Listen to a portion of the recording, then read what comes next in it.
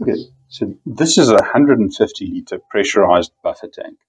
We use it as a backup water supply for a house by connecting it into the main water supply with a few valves and a non-return. So the, what we've got set up here, it looks quite complicated, but we have our incoming water coming in, and here we've got a valve to shut off the supply to the tank, and a valve to bypass the whole system to the house, and a valve for the other side of the tank. And here we have a non-return valve, which basically allows us to let water come in through the non-return, so it doesn't push back if you lose a lose your water supply. Then to the tank. The tank has a, a bladder inside that pushes the water back out using air pressure. And then, say, if you have a water failure now, the this valve is open to the house. This is closed going back to the feed water, and here the non-return valve stops the water going back. So if we lose water, we take water from the tank through to the house, and we basically have an uninterrupted supply.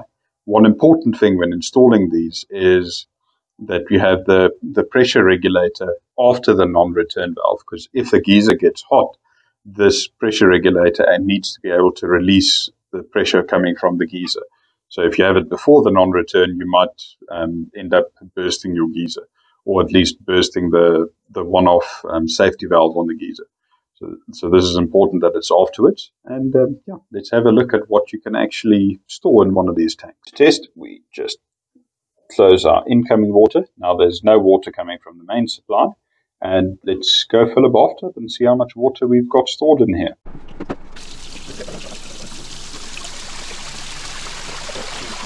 Okay, so this is what we actually ended up getting out of the, the backup water tank.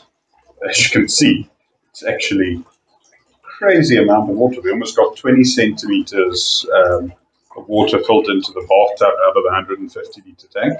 So overall, this is a great setup for a backup water if you just have intermittent um, water supply.